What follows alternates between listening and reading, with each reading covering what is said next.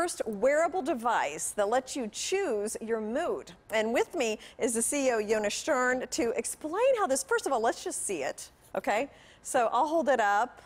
Um, and we'll talk a little bit more about this in depth, but let's talk about the wellness market in general. How big is the wellness market? The wellness market is, is it's immense. It's uh, almost $5 trillion.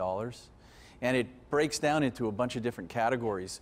Wearables alone are almost $100 billion.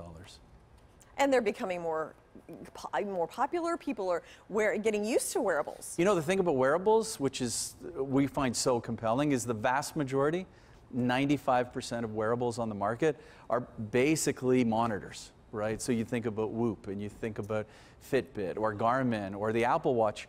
They're basically monitors that are giving you back feedback, biofeedback about how your body's doing, yeah. how many REM cycles you do, or you know what your heart rate is they're precious few that actually do something for you. So this is just, you know, most of the wearables are reading things. We're the other side of the coin where we actually help you optimize your wellness. Okay, so you have to tell me how does this work? So I, I tried it, and we'll talk about that in a second. I put it around my neck mm -hmm. and wore for the hour that you're supposed to wear it. So yep. how does how does it work? So basically, and I'm not a scientist, but um, what I can explain to you basically is every compound that we ingest, Think coffee, think nicotine, think CBD. Every one of those compounds is made up of molecules. Every one of those molecules has a unique digital signature. That's what the scientists figured out.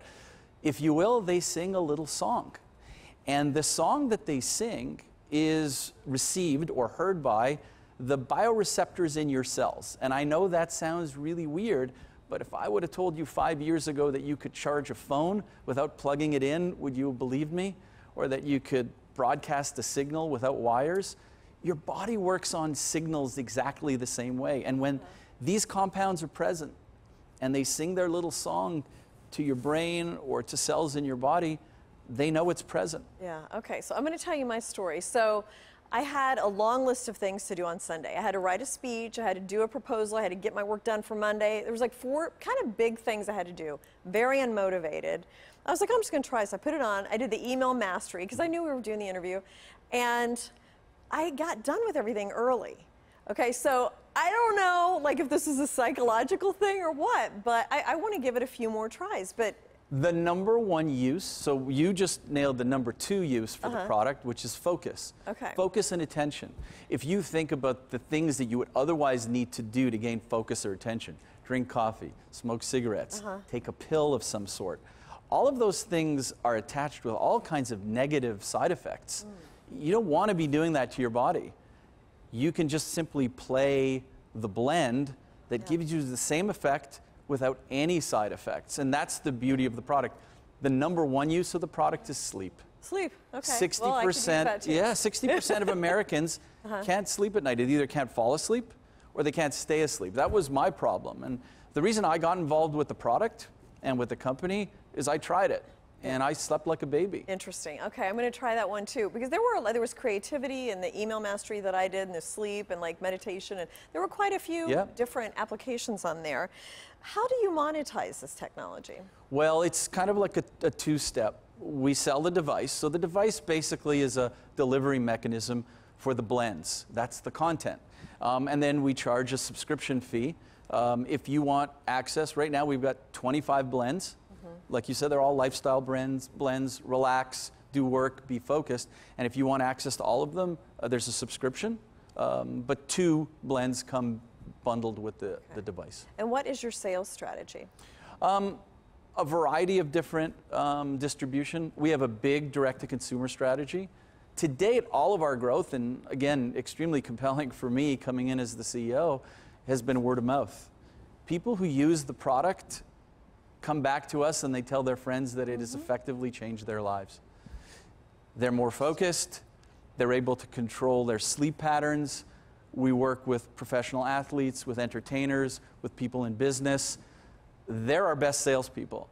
But as we look to scale the business, a comprehensive direct to consumer strategy, um, a strategy where we're going to be having the product uh, fulfilled through third party retail, um, and a lot of people are now starting to create blends of their own. Hmm. Think Spotify okay. for moods. they're starting to create blends on our platform, and they're bringing their uh, followers uh, to the platform. Oh, interesting. Well, I did tell some people about it, and Thank I you. promised I would try it a couple more times before I, you know, just make sure it wasn't some kind of weird thing. But I tell you, I mean, it really did.